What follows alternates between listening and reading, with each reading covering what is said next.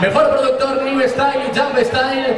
Uno de los hombres que la verdad que está apoyando mucho, muchísimo al Jump Style. Además ha venido con sus jefes. ¡Dani BPM!